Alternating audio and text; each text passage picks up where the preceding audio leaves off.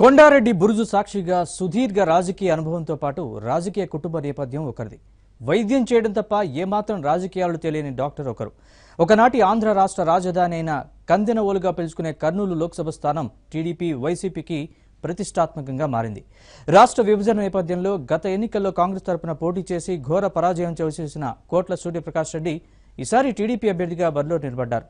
చేనేత వర్గానికి చెందిన డాక్టర్ సంజీవ్ కుమార్ను వైసీపీ అభ్యర్థిగా నిలిపింది. టీడీపీ బలం కోట్ల నేపథ్యం చూస్తే పైకి ఏకపక్ష పోరుగా కనిపిస్తున్న గత ఎన్నికల ఫలితాలతో పోల్చితే హోరాహోరీ పోరు తప్పదనిపిస్తోంది. మరి కర్నూలు లోక్సభ స్థానంలో కథనమా ఏకపక్షమా?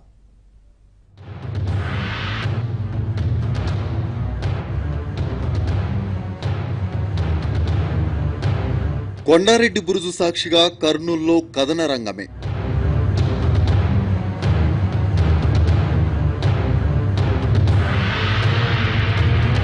దూకుడు మీదున్న టీడీపీ వైసీపీ.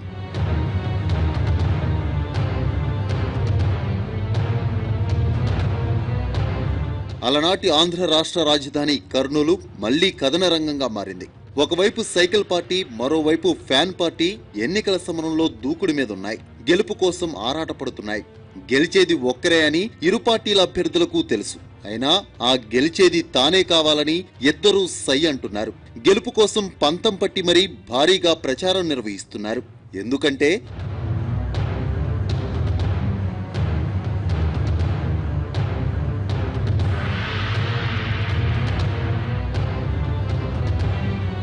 కొండారెడ్డి బురుజు సాక్షిగా సుదీర్ఘ రాజకీయ అనుభవంతో పాటు రాజకీయ కుటుంబ నేపథ్యం ఒకరిది.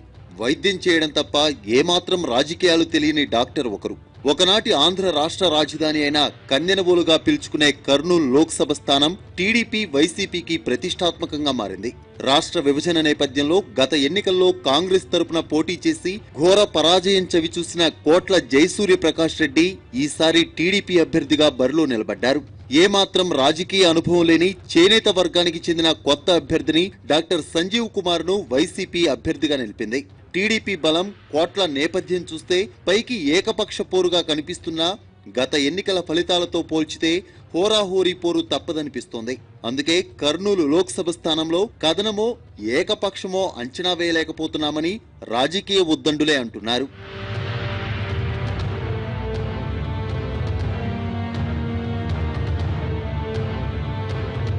ఉత్కంఠభరితంగా సాగుతున్న కర్నూలు పోరు బరిలో బీసీలు అధిక సంఖ్యలో ఉన్నారు. కర్నూలు లోక్సభ నియోజకవర్గానికి ఇప్పటి వరకు పదిహేడు సార్లు ఎన్నికలు జరిగితే అందులో పన్నెండు సార్లు కాంగ్రెసే గెలిచింది. అందులోనూ కోట్ల కుటుంబం పదిసార్లు విజయం సాధించడం కర్నూలు గడ్డపై కోట్ల కుటుంబం పట్టును తెలియజేస్తుంది.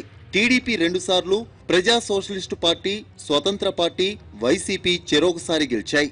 గత ఎన్నికల్లో వాల్మీకి వర్గానికి చెందిన బీటీ నాయుడు టీడీపీ తరపున నిలబడితే చేనేత వర్గానికి చెందిన బుట్టా రేణుక వైసీపీ తరపున నిలబడి గెలిచారు. తర్వాత ఆమె టీడీపీలోకి వచ్చారు. దీంతో ఈసారి కర్నూలు లోక్సభ టీడీపీ టికెట్ బుట్టాకే దక్కుతుందని అందరూ భావించారు. చివరి నిమిషంలో కోట్ల కుటుంబం టీడీపీలో చేరడంతో అధినేత చంద్రబాబు ఆయనకే టికెట్ ఖాయం చేశారు. దీంతో బుట్టా అలిగి మళ్ళీ వైసీపీలోకి వెళ్ళిపోయారు ఈసారి కూడా వైసీపీ చేనేత వర్గానికే చెందిన డాక్టర్ సంజీవ్ కుమార్ను బరిలోకి దింపింది. అయితే ఎలాగైనా గెలవాలని టీడీపీ తమ స్థానాన్ని నిలబెట్టుకోవాలని వైసీపీ రాజకీయ వ్యూహాలకు పదును పెట్టాయి. దీంతో రాష్ట్ర వ్యాప్తంగా తీవ్ర ఉత్కంఠ నెలకొంది.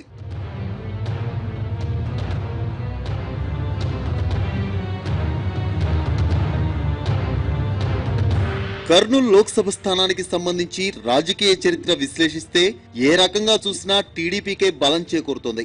ఎందుకంటే జిల్లాలో కేఈ కోట్ల కుటుంబాల మధ్య అరవై ఐదేళ్ళకు పైగా రాజకీయ వైరం ఉంది. ఇరు కుటుంబాల మధ్య అస్సలు పొసగదు. ఎప్పుడూ ఎదురెదురే. ఏ విషయంలోనైనా ఇరు కుటుంబాలు పట్టిన పట్టు వీడేవారు కాదు. ఒక్క మాటలో చెప్పాలంటే కర్నూలు చరిత్రలో కోట్ల కేఈ కుటుంబాల శకం నిత్యం పగలు ప్రతీకారాలతో రగిలిపోయేది. అలాంటి రెండు కుటుంబాలను చంద్రబాబు ఒక్కటి చేశారు. ఒకే తాటిపైకి తీసుకురాగలిగారు. రాజీ అనే పదానికే చోటు లేకుండా రాజకీయం నెరిపిన కోట్ల కేయిలను చంద్రబాబు సముదాయించారు. ఇద్దరూ కలిస్తే మీకు మాత్రమే కాకుండా జిల్లాలో రాజకీయంగా రెండు వర్గాలు కూడా ఎదుగుతాయని జిల్లా కూడా అభివృద్ధికి నోచుకుంటుందని నచ్చజెప్పి ఇద్దరి మనసులను గెలుచుకున్నారు. కేఈ కృష్ణమూర్తి గాని కోట్ల జయసూర్య ప్రకాష్ రెడ్డి గాని ఎక్కడైనా ఏ సందర్భంలోనైనా ఎదురు పడితే తల తిప్పుకొని తప్పుకొని వెళ్ళేవారని జిల్లాలో చాలా మంది రాజకీయ నేతలే అంటుంటారు. అలాంటి నేతలే భుజాల మీద చేతులేసుకుని తిరుగుతూ ఒకే వాహనంలో కలిసిమెలిసి తిరుగుతూ గెలుపు కోసం ప్రచారం చేస్తున్నారు. దీంతో కర్నూలు జిల్లా రాజకీయ చరిత్రలో సరికొత్త మార్పునకు నాందిగా భావిస్తున్నారు. లోక్సభ స్థానం పరిధిలో అత్యధికంగా ఓటు బ్యాంకు ఉన్న వాల్మీకులు చేనేతలు యాదవులు తమ వైపేనని టీడీపీ ముస్లిం మైనారిటీలు ఎస్సీలు రెడ్లలో ఎక్కువ ఓట్లు తమకేనని వైసీపీ అంచనా వేస్తున్నాయి.